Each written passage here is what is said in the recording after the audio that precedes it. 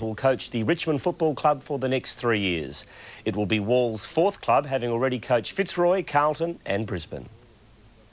Obviously what they've done the last two years has been very impressive. They've played with a real passion, played with a hardness, and um, I think all of us who've watched them play couldn't help but be excited by it. And I certainly felt that way, and uh, as a coach, I, I thought, gee, uh, that'd be a good team to coach. In what has been an unusual set of circumstances, Robert Walls and John Northey have virtually traded jobs.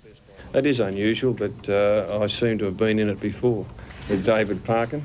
Uh, 10 years ago, David went to Fitzroy and I went from Fitzroy to Carlton, so it's unusual, but uh, I've been in it. Richmond is Wall's fourth club in 14 years, and he has proved himself winning a premiership with Carlton in 1987 and this season coaching Brisbane to the finals for the first time in its nine-year history.